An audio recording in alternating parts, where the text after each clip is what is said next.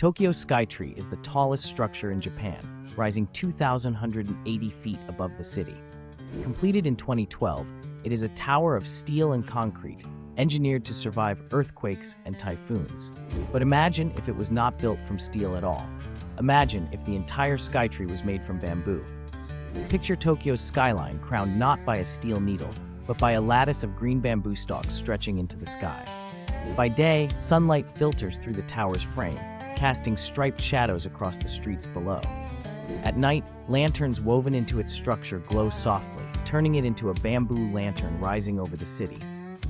But beauty hides danger. Bamboo is flexible, yes, but not strong enough to hold thousands of feet of height.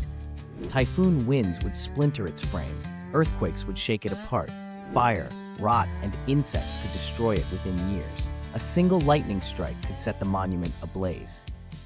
The real Tokyo Skytree stands because it is built of steel, designed to endure nature's fury.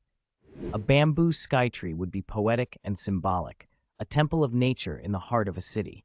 But it would also be fragile and fleeting.